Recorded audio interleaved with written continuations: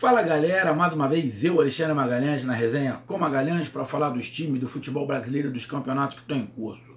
Quarta-feira, Brasileirão 2020, quarta rodada. É, a quarta rodada teve abertura com Atlético Paranaense e Palmeiras. Na verdade, tivemos três jogos: Atlético Paranaense e Palmeiras, Flamengo e Grêmio e Bragantino e Fluminense. Se eu não tiver enganado, o Bragantino e Fluminense, o Bragantino ganhou, Flamengo e Grêmio deu empate 1 a 1 e no jogo que eu vou fazer a minha análise agora, Furacão 0, Palmeiras 1.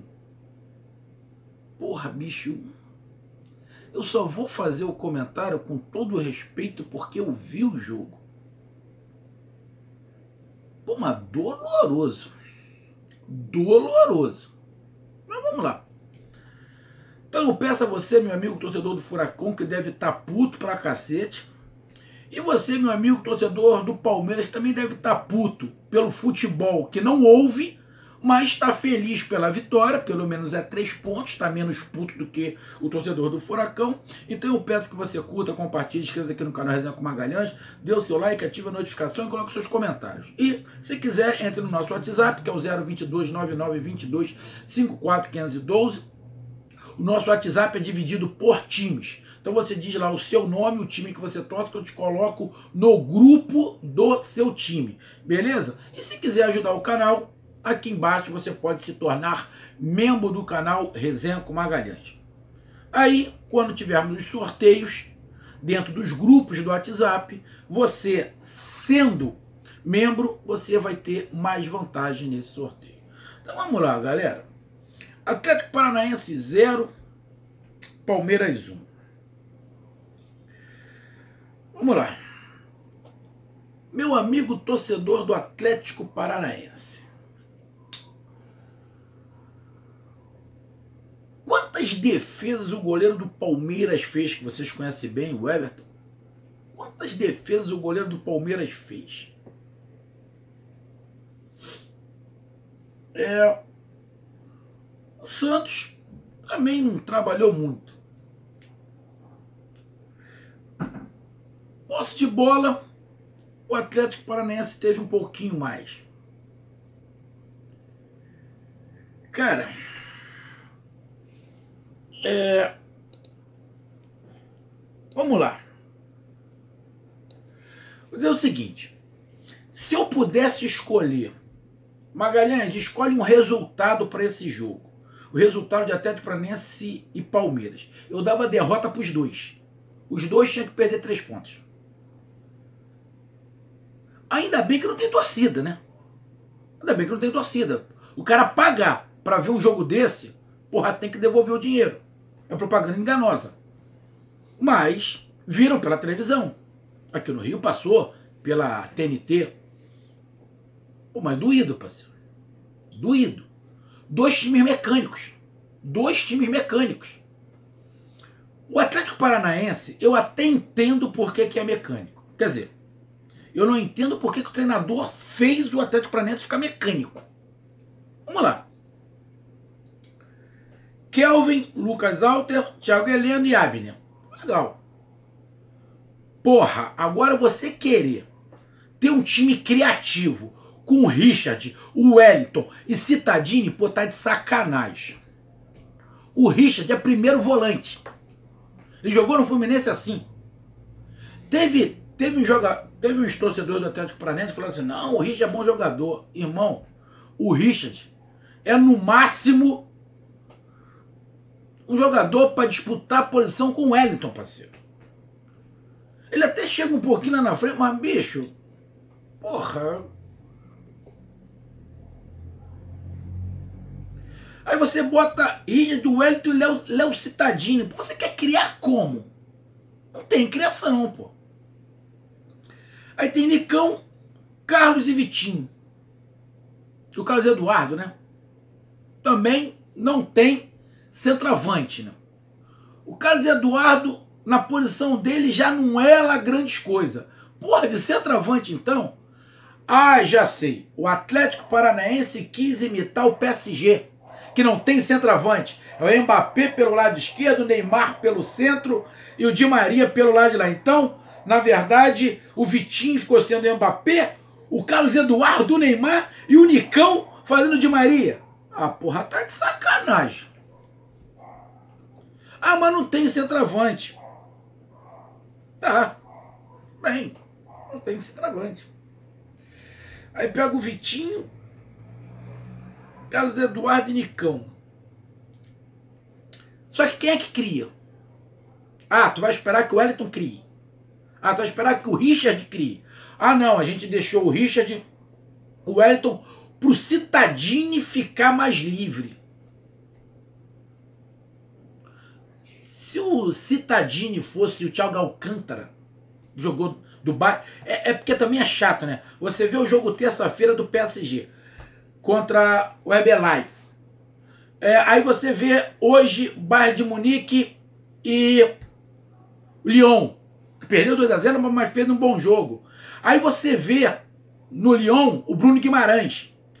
Aí você vê no Bayern o Thiago Alcântara ali atrás. Pá. Realmente, depois de ver um jogo desse, a gente acaba fazendo análise até um pouco mais rigorosa. Mas, porra, mas Atlético Paranaense e Palmeiras poderiam ter jogado alguma coisinha. Pô, bicho. Mas, com Richard, o Wellington e Citadini, vai ficar difícil criar. Realmente, vai ficar difícil criar. Aí tem o Nicão, o cara tentou botar velocidade, né? Com o Vitinho, com o Nicão, tentou colocar velocidade, mas, irmão, Nicão, Carlos Eduardo e Vitinho são aqueles jogadores que tem que alguém direcionar. Tem que alguém direcionar. É, é como se fosse numa obra. É, tem que ter um engenheiro para arquitetar aquilo ali. Supomos, tem um engenheiro, que é o treinador. E lá na obra tem o mestre de obra. O mestre de obra é o cara, sabe tudo. Então ele tem que, ó, você faz isso, você faz aquilo. Bom, o mestre de obra seria o citadinho. Eu não morro de amor de citadinho. Ele não é ruim, mas ele não é esse cara. Aí você coloca só o citadinho para ter essa função de criação, porra, não dá, filho. Ele não é acima da média. Ele é um jogador normal. Que se tiver um outro jogador do lado dele ali que chame a atenção, aí vamos ser bem sinceros. Juntando Citadini com, com, com o Gabriel, Arquinhos Gabriel, não dá meio Bruno Guimarães, parceiro. E nem o Rafael Veiga, que, que tá no Palmeiras. É. Cara, aí, aí realmente ia ficar difícil para o Atlético Paranaense criar. O Palmeiras. Lucas Lima. Aí entendi, ele colocou o Rony e o Luiz Adriano. O Luiz Adriano é aquele cara que ele quase não participa do jogo, cara. Ele é sempre um a menos. Ele é sempre um a menos. Faz os gols dele, mas ele é sempre um a menos. Ele é igual o, o jogador do Vasco Cano, centroavante. Você não pode contar com ele para nada. Ele é aquele cara da última bola.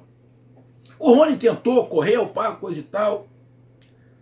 Mas o Bruno Henrique não tá bem. O Lucas Lima não tá bem. O Rony não tá bem. O Luiz Adriano não tá bem. O garoto Patrick de Paula, que vem empolgando com a fase ruim dos outros, acaba não jogando. O Gabriel Menino também não se saiu bem. Cara, o jogo foi sofrível. Mas o, o, o, o que me, me causa mais estranheza são as peças que o Palmeiras tem e que, porra, bicho, não anda, cara. Não anda. É a tática. Não, não dá mais encaixe.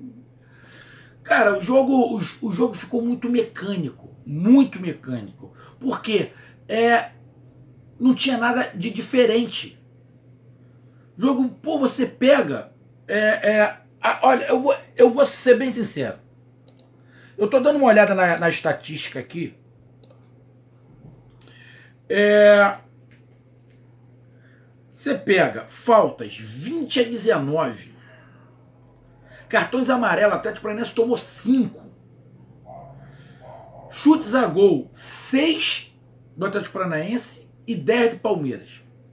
Em direção ao gol, o Atlético Paranaense não chutou nenhuma. E o Palmeiras chutou 3 em direção ao gol. Cara, um jogo de Atlético Paranaense e Palmeiras ter três chutes em direção ao gol, sendo que um foi o gol, né? Porra, cara. Olha. Complicado. Complicado, cara. Bem complicado. Eu sei que os torcedores do Atlético Paranaense vão chegar para mim e vão perguntar: Magalhães, e o pênalti? Teve dois pênaltis a favor do Atlético Paranaense. Não, para mim teve um. O, o do segundo tempo, em cima do, do Thiago Leandro Zagueira, que até teve até a mão ali, eu vi que ele forçou muito. Agora, o do Patrick de Paula, em cima do jogador do Atlético Paranaense, para mim aquilo foi pênalti, e muito pênalti. Para mim aquilo foi muito pênalti. Para mim, apesar do jogo ter sido horroroso, o Atlético Paranaense ter jogado tinha até velocidade, porra, mas, mas é um time sem cérebro. É um time que vai fazendo por osmose. E não é muito diferente do Palmeiras, não. O Palmeiras não faz um jogo bom, porra, sei lá. Eu já tô até ficando saco cheio de ver o jogo do Palmeiras, que é muito ruim. Vai até ganhar igual ganhou hoje. Uma bola lá, pá, no bate e rebate, de repente uma inspiração. Mas, para mim, foi pênalti. Pênalti em cima do jogador do Atlético Paranaense. Se ia fazer gol ou não, era outros 500. Mas para mim, que foi pênalti, foi pênalti. O segundo, não. Se tem o pênalti, o Atlético Paranaense faz o gol, poderia mudar um pouquinho, o jogo ficar mais alegre, com o Atlético Paranaense, sei lá, ia jogar com, com, a, com a velocidade, porque tem três jogadores de velocidade, o Palmeiras tem que se abrir mais um pouquinho. Mas como o gol, o jogo, o gol foi no finalzinho, não deu nem tempo do Atlético Paranaense fazer nada. Mas na boa. É, foi um jogo ruim,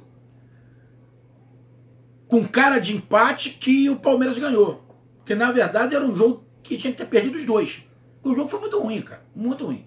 Se os dois pensam, se o Atlético Paranaense e o Palmeiras pensam em alguma coisa no Campeonato Brasileiro, não pode ser com esse futebol, porque nenhum dos dois vai chegar a lugar nenhum.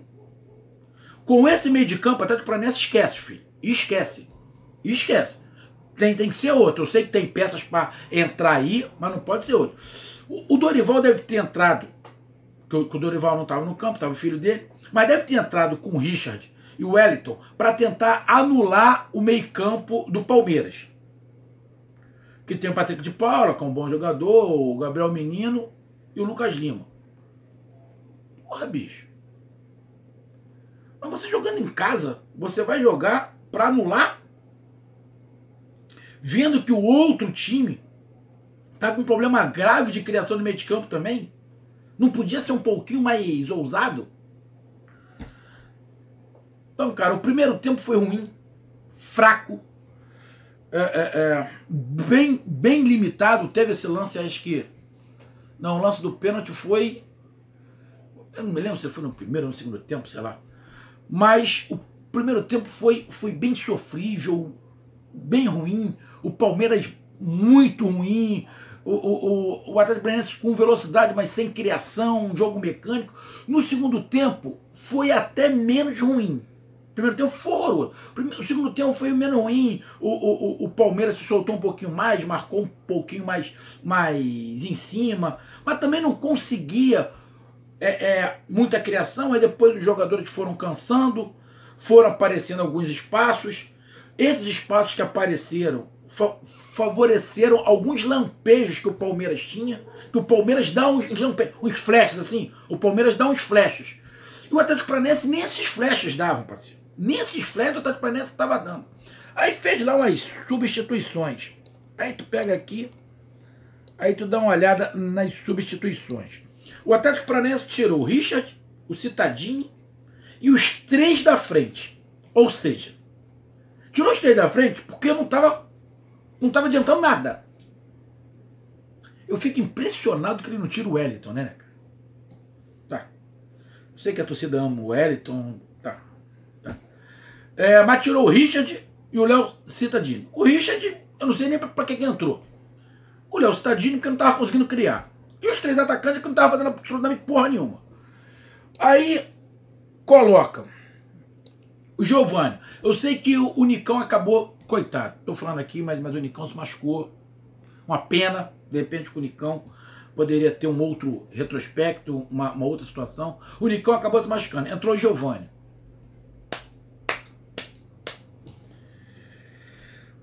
Marquinhos Gabriel, Pedrinho. Ali para frente, né? Marquinhos para criação, Giovanni por um lado, Pedrinho por outro. O Vinícius entrou, o Canezinho entrou, deu uma, uma, uma entrada forte lá, até já tomou um amarelo. Mas vamos lá. Fernando Canezinho. Vinícius. Pedrinho é bom jogador. Marquinhos Gabriel. Giovanni. Já jogou bola. Também não sou de efeito. Sem meio de campo não anda, filho. Sem meio de campo não anda. Time não anda. Um time fica um time praticamente acéfalo, parceiro. E hoje não. E o Atlético Paranaense hoje também não estava inspirado, né? O Atlético Paranaense fez um jogo muito parecido com o que fez contra o Santos no segundo tempo. Primeiro tempo, os 30 minutos do Atlético Paranaense foram sensacionais. Depois tomou o gol, desandou. E parece que continuou desandando. Parece que o estrago que o Santos fez lá repercutiu hoje.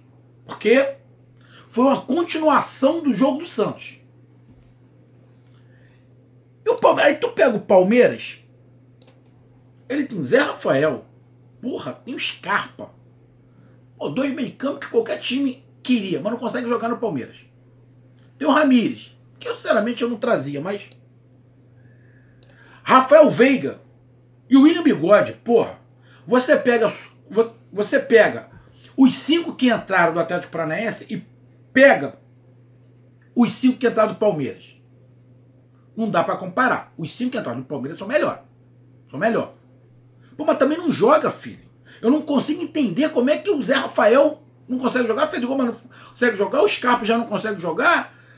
O Rames tudo bem, mas o Rafael Veiga, é, é, é, é, o Zé Rafael não, quem, quem fez o gol foi o Rafael Veiga. William Bigode, cara, eu não entendo como é que esse time do Palmeiras não encaixa, parceiro. E não encaixa há muito tempo, não joga bem há muito tempo. Cara, olha, 1x0 Palmeiras, se o jogo tivesse sido 1x0, Atlético Paranaense ia falar a mesma coisa, os dois mereciam perder. Foi um jogo muito limitado, muito, muito lutado, muito brigado, muito corrido, com vontade, os times com vontade. Porra, bicho. Mas sem criatividade nenhum, um jogo ruim. Ruim. Eu não vou nem fazer análise tática. Uma análise tática, ah, porque nada, o jogo foi ruim, parceiro. Eu tô falando aqui de torcedor. Resenha de torcedor de butiquim. Estamos aqui tomando um gelo, pá, coisa e tal, vimos o jogo, falou, puta que pariu. Melhor coisa que aconteceu nesse jogo foi eu estar tá tomando a minha cerveja. Porque, irmão, e bateu o papo. Porque o jogo em si, se você está no botequim vendo, vendo esse jogo, você vai começar a conversar sobre outro assunto com o teu parceiro, vai esquecer o jogo. 1 a 0 Palmeiras, valeu o resultado. Valeu o resultado. O resultado do Palmeiras foi excepcional. O Atlético Paranaense tem que começar a rever os seus conceitos. Até de contratações. Até de contratações. O, o Furacão precisa de contratações. Principalmente no meio de campo e pro ataque. Precisa. Ah, tem lá o, o Walter. Porra, mas joga quando, cara? Precisa. Depois diz que eu não avisei. O Palmeiras não precisa. Assim. Mas, sinceramente, eu não sei qual o problema do Palmeiras. Será que é o Luxemburgo? Não sabe. Não consegue encontrar o encaixe um, um, para eles. Estão todos numa fase muito ruim. Complicado. Então, meus amigos, essa foi a minha nata, minha resenha, na, na verdade, aqui o meu desabafo, um jogo ruim que eu fiquei 90 minutos assistindo. Mas eu fiquei. Um abraço, fazer o quê? Tamo junto, até mais. Fui.